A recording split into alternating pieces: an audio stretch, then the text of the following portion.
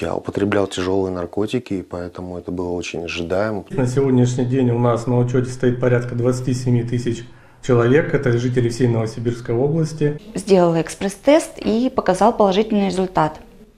Растерянность, страх, обреченность. Есть, конечно, люди принципиально, ВИЧ-диссиденты. Я видел людей, которые умирают от СПИДа. Скажите, пожалуйста, как вы относитесь к ВИЧ-положительным людям? Отрицательно. Почему?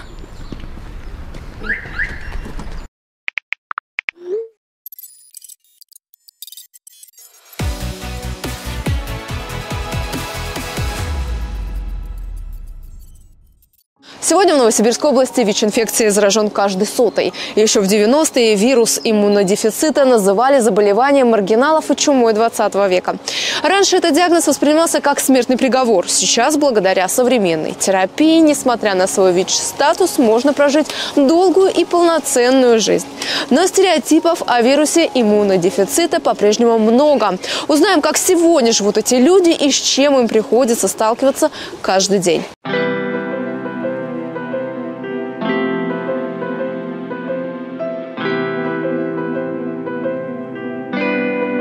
Как первый раз вообще узнала о своем ВИЧ-статусе? Вот при каких обстоятельствах это было? Я сдавал анализы, проходил детоксикацию, там сдавал анализы. Через какое-то время попросили пересдать уже в спецсервисе, в спеццентре, чтобы подтвердить либо опровергнуть диагноз. Попытайся вспомнить, что ты почувствовал на тот момент, какие мысли были, может, в голове. Я употреблял тяжелые наркотики, и поэтому это было очень ожидаемо, потому что в нашем круге общения уже ребята находились с этим статусом. Я видел людей, которые умирают от СПИДа. Растерянность, страх, обреченность. И какие были твои дальнейшие действия? Встал на учет и начал принимать терапию. Ну, тогда были внутренние какие-то приказы о том, чтобы терапию назначали при определенных показателях. То есть терапию назначали совершенно не всем. Нужно было достигнуть угнетенного иммунитета достаточно, чтобы ну, вот, э, начать получать терапию. И никто мне ее не назначал. Я без терапии лет шесть, наверное, жил с этим статусом. Ну, естественно, поставили на учет. Вот, ходил, сдавал кровь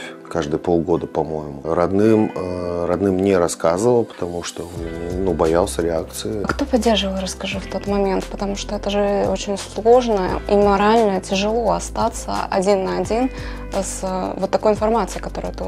Никто на самом деле не поддерживал, было очень мало информации, интернет только-только входил ну, вот, там, в мою жизнь, по крайней мере. И я только спустя, наверное, несколько лет узнал, что есть группа взаимопомощи. Ну хорошо, с точки зрения твоей морали, твоя мораль позволяет испытывать э, любовь к, к двум людям и более? Нет? Как ты стал активистом сам?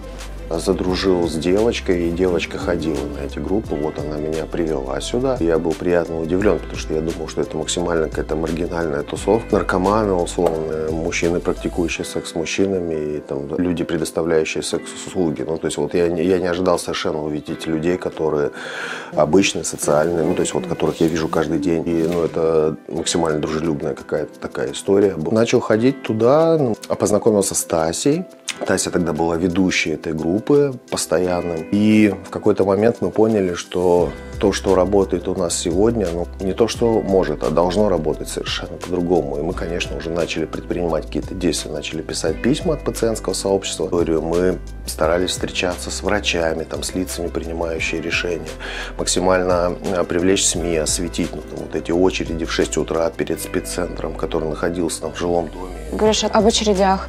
Ну, это единственная разве сложность была? Вы боролись за что? Это была история, ну, просто про человеческий сервис. Это уже потом в Европе уже терапию назначают сразу при постановке на учет. Уже были какие-то исследования, которые говорили о том, что если человек принимает антиретровирусную терапию, то он не так опасен для окружающих, в кавычках, ну, там, для своего партнера. Это потом мы уже заговорили о терапии. Тася была вот сподвижником этой истории. Тася родила ребенка, и вот в какой-то момент ей вдруг показалось, что нужно обязательно помогать ребенку детишкам, и мамочкам. И мы только поддержали ее в этом. Открыли организацию пациентскую. Мы реализуем разные социальные проекты, но все они направлены на помощь э, людям, живущим с ВИЧ. На базе ресурсного центра проходят не только разные группы взаимопомощи, проходят занятия йогой, различные мастер-классы, занятия по керамике, консультации различных специалистов. В первую очередь это психологи. Получить консультацию бесплатно юриста, естественно, равного консультанта и специалиста по социальной работе. На сегодняшний день у нас на учете стоит порядка 27 тысяч человек, это жители всей Новосибирской области. Из них принимают антиретровирусную терапию чуть более 24 тысяч человек. И вот наша сегодня основная задача – это привлечь остальных пациентов, которые не принимают антиретровирусные препараты, к лечению непосредственно. Есть, конечно, люди принципиально, ВИЧ-диссиденты, да, есть люди, которые считают, например, что они себя хорошо чувствуют, потому что ВИЧ-инфекция – это такое заболевание, оно сегодняшний день, к сожалению, хроническое, пока неизлечимое, но можно с помощью препаратов а, поддерживать хороший уровень жизни жизни, э, замедлить прогрессирование заболевания, в принципе, прожить столько же, если человек своевременно начинает, сколько бы он без ВИЧ-инфекции прожил. Но Некоторые люди, так как стадии разные, бывает, что человек, например, на третьей стадии ВИЧ-инфекции хорошо себя чувствует, и вот такое, знаете, формируется ложное впечатление, что у меня все нормально, зачем мне все принимать, а потом уже в дальнейшем, когда появляется осложнение, вот только тогда большинство таких людей приходит, обращается за медпомощью. Видел людей, которые умирают от СПИДа. У меня сомнений совершенно не было в том, что ну, э, терапия работает. И поэтому я к тому моменту, когда я уже подошел, и мне уже ее назначали, я был совершенно без сомнений ну, о том, принимать ее. И если говорить про каких-то настоящих вот СПИД-диссидентов, живых не встречал. Встречал в хрониках, э, что эти люди были, люди э, погибли, к сожалению, от своей глупости. Я была на группах и очень часто слышала, как ребята поднимают вопрос о том, как э, сказать партнеру о своем э, ВИЧ-статусе? Люди боятся сами себя. Вообще не вижу ничего сложного в том, чтобы сказать, что у меня есть ну, вот такое вот заболевание, э, но я пью терапию, и я ну, вот, максимально безопасен. Каждый выбирает для себя какое-то комфортное время. В любом случае есть способы, чтобы половому партнеру ВИЧ-инфекцию не передать. И когда уже отношения зашли достаточно далеко, потом будет еще тяжелее рассказать. То есть и партнеру будет тяжелее воспринять, и самому пациенту будет тяжелее рассказать. И с каждым днем это будет все тяжелее и тяжелее. Как отреагировали родители, когда все-таки узнали а, о твоем ВИЧ-статусе? В моих отношениях с родителями ВИЧ-инфекция – это вторичная какая-то история, вызывающая проблемы. То есть первичная история – это была, конечно, употребление наркотиков. Ну, она была простая, типа, а что ты хотел? Расстроились еще больше. Все сторчался и умру очень быстро. И, и все эти годы и ресурсы, вложенные в меня, прошли совершенно теперь окончательно зря. Ну, это мои догадки, конечно, никто мне их не озвучивал, вот, но, конечно, расстроились. А давай подумаем в глобальном масштабе, как было то и как стало сейчас. А, ну, на площадке острова детское отделение, равные консультанты, а, плюс ресурсный центр, а, куда приходят, ну, вот там на всякие мероприятия те же мамочки. Появился сервис, и он, конечно, пользуется популярностью. И самое, на мой взгляд, это наличие равных консультантов. Принцип равный равному, он реально работает. Если говорить про спеццентр, то равный консультант – это э, человек, живущий с ВИЧ. Чем помогает равный консультант э, пациентам спеццентра? Принять диагноз, оказывает э, эмоциональную поддержку, помогает э, наладить контакт с врачом. Ну, это, равный консультант – это такой мостик между пациентом и врачом. Буквально сейчас была перед нами, пришла пациентка, подозревает у себя инфекцию, вот расскажи, э, не может сдать анализы и пришла к тебе, правильно понимаю? А, она э, может сдать анализы, э, но ей она хочет знать ответ прямо сейчас, прямо немедленно, если у нее ВИЧ. У нас есть экспресс-тесты на ВИЧ. Сделала экспресс-тест и показал положительный результат. Делается после? Я ее сразу направила к психологу. Экспресс-тестирование а, не подразумевает, что это установлен диагноз ВИЧ-инфекция. Да, есть э, анализы на антитела, но э, прежде чем поставить диагноз, это должны быть лабораторные исследования э, в несколько этапов. Медики советуют регулярно сдавать тест на ВИЧ, даже если вы ведете здоровый образ жизни и у вас постоянный партнер. Ведь известно множество случаев инфицирования людей, которые находятся в отношениях или в браке. Сдать кровь можно в спеццентре или взять направление в своей поликлинике. Но проще и быстрее купить вот такой экспресс-тест в любой аптеке или заказать на маркетплейсах. Стоит он дешевле теста на беременность.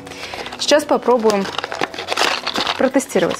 В каждом тесте прилагается инструкция, даже с картинками. В этом пакетике у нас находится планшет, который мы и должны будем капнуть своей кровью в раздел S. Это реагент, которым мы будем растворять каплю крови. И иголочка, которой мы будем протыкать палец. Две капли реагента. Как написано в инструкции, нужно 15 минут подождать результат.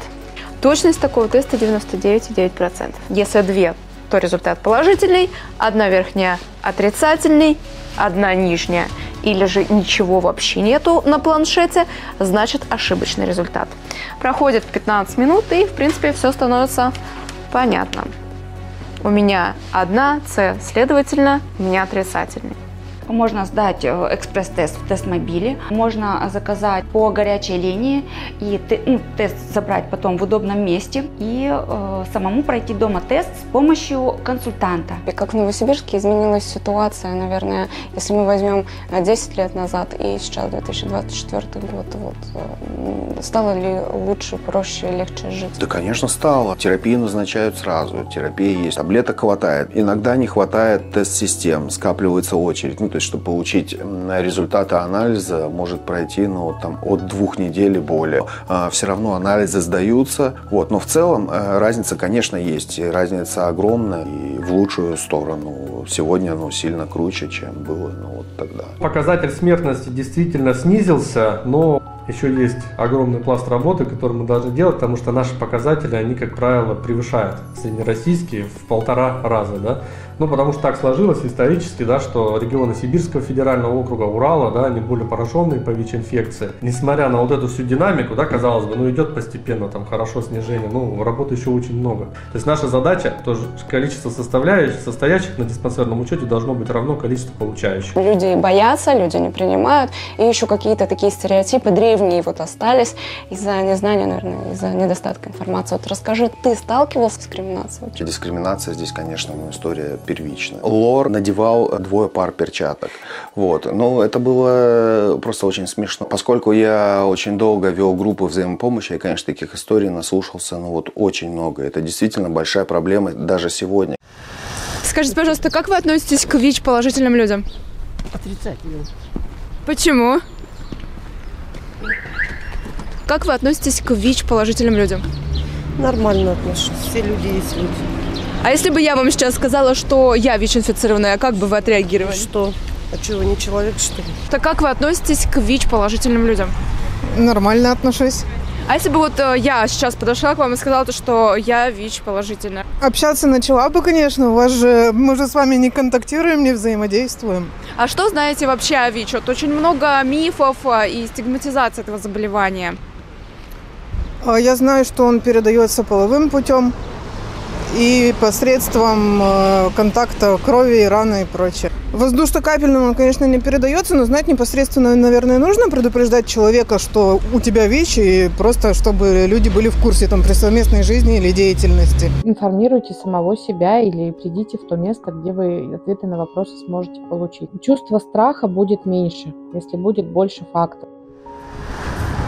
Новосибирские сотни улиц и десятки тысяч домов, а кто-то вынужден ходить между квартирой, работой и больницей, понимая, что множество дверей навсегда закрыты для него. Давайте не будем злыми и темными, ведь достаточно 15 минут поиска в интернете, чтобы понять, что бояться ВИЧ-инфицированного человека совершенно не нужно.